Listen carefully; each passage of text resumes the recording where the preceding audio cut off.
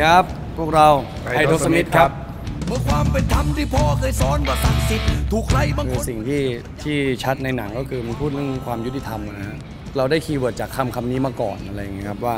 เออคำว่ายุติธรรมเนี่ยมันมันแปลความหมายไปในทางไหนได้บ้างอะไรอย่างเงี้ยหมอคิดว่ามันมีสิ่งที่เรียกว่าความยุติธรรมอยู่ในสังคมเราจริงๆเหรอมันเกิดอ่า ไอเดียหนึ่งขึ้นมาว่าแบบบ้านเมืองเราที่เราเห็นอย่างเงี้ยว่าว่าสิ่งที่มันเป็นไปคนคนที่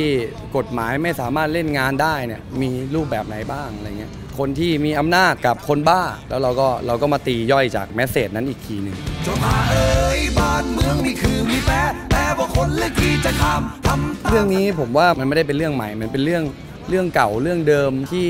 ถูกพูดแล้วซ้ำแล้วซ้ำอีกนะ ไม่ว่าจะทางสื่อไหนก็ตาม ไม่ว่าจะทางงานศิลปะแขนงไหนก็ตามเอ่อถูกพูดแล้วพูดอีก แล้วก็เราก็มาพูดซ้ำอีกครั้งหนึ่งในรูปแบบของเราอะไรอย่างเงี้ยเครียดไหมไม่มันก็ไม่ได้ถึงขนาดเครียดนะอ่าแต่ว่าถามแต่ว่าซีเรียสไหมก็คือซีเรียสเพราะว่าเราจริงจังกับการทำงานอะไรเงี้ยก็ช่วยกัน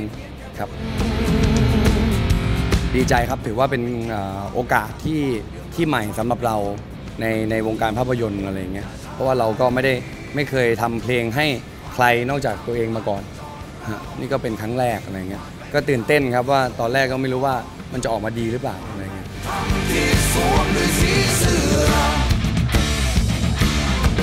ก็สามารถติดตามหนังได้แล้วก็ติดตามพวกเราได้ แล้วก็เพลงเพลงนี้ได้ทาง YouTube